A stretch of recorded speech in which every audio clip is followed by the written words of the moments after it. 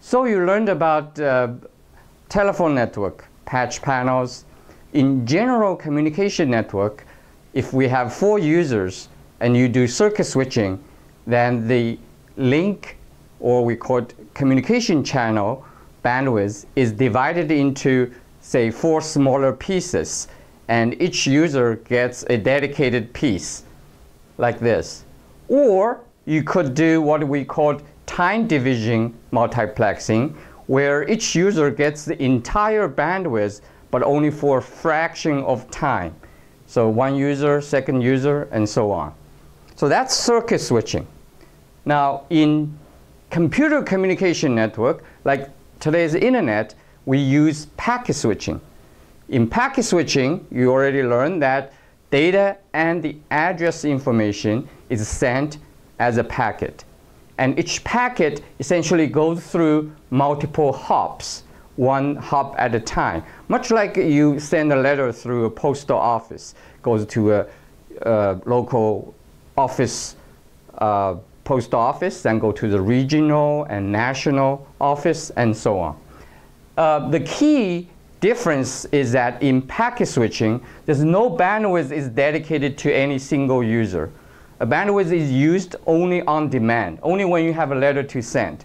Like in this case, if user D doesn't have any data to send, no bandwidth is wasted. Okay? Other users, A, B, and C, can send their data using the available bandwidth. So a quick summary um, is that packet switching is great for bursty data, meaning that the data comes in a, in a batch but not constant rate. It, it is good because of the packet switching uh, allows the user to use data bandwidth only when needed, and there's no dedicated uh, waste. This is called statistical multiplexing feature of the packet switching. And it's also simpler than circuit switching because there's no need to set up a circuit beforehand.